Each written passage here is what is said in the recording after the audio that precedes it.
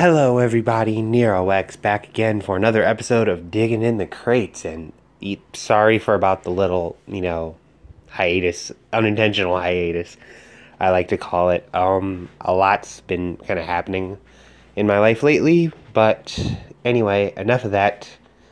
You know, I'm back. I'm going to start try to start putting out videos a bit more consistently. Um, I'm recording this with a bit of a cold still, but anyway.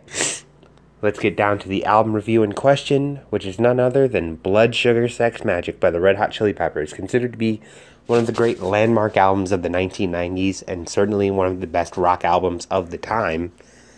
And before we start the review, let's preface all of that with a little bit of background information.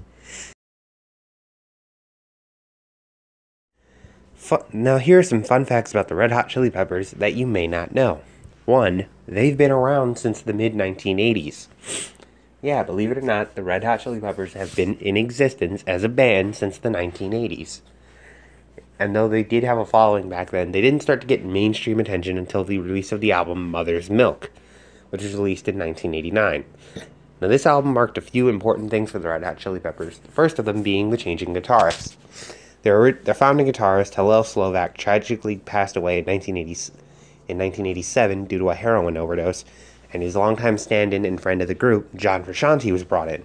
Jack Irons, the band's founding drummer, also quit the band at about the same time, in mourning of the loss of one of his best friends. Then, during the, and then Chad Smith would join the group. This would become the fo- this would become the foursome that most people know as the Red Hot Chili Peppers. The second main thing about this album is that it was the first album Rick Rubin produced. Now, Rick Rubin was primarily known for his work with Def Jam Records, primarily with LL Cool J, as well as producing several Beastie Boys albums. He's known for a minimalistic style of production, and it really shows on this album. This album is also the first album where we start hearing the Red Hot Chili Peppers really become more. Uh, what's the word? Not. No, not that. Uh, okay. Where they become more introspective, shall we say. But moving along. Now that I've given you guys some background information, let's get down to the actual review, shall we? Now, the Red Hot Chili Peppers are well known for Flea's crushing bass lines, intense drums, Anthony's, shall we say, rather suspect singing, but not their guitar playing. This album changes that. In fact, this album, for all intents and purposes, is John Frusciante's coming out party on guitar. Him and Rick Rubin really mesh together, it seemed, and you can definitely tell in the way the guitar, the guitar parts are done and arranged. I mean, listen to the fills he pulls off on Under the Bridge while playing the chords. I can play the song Under the Bridge, and I still can't do 80% of those fills. How did you do that, John Frusciante? Why do you have to make my tiny, mi- my tiny meat puppet hands feel so insecure? Give It Away is a great explosion of energy and nonsensical lyrics, which apparently were just made up on the spot. Breaking the Girl is one of the few Red Hot Chili Peppers acoustic tracks. Yeah, I know, that's a shock. And wow, what else can you really talk about, say about this album that hasn't already been said? It's the first really introspective album from Anthony Kiedis, with the song Under the Bridge, as I mentioned earlier, actually being primarily about his struggle with heroin addiction.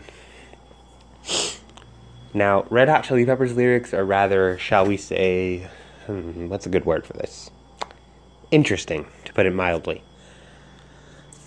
In fact, the long running joke is basically every Red Hot Chili Peppers song could be summed up as We're from LA, We're from LA, funky bass line, We're from LA. However, this album changes it up, offering a more mature and almost, in, in some instances, near tear jerking look at people at his life and his mind as he's gotten so as he's gotten sober by this by this point.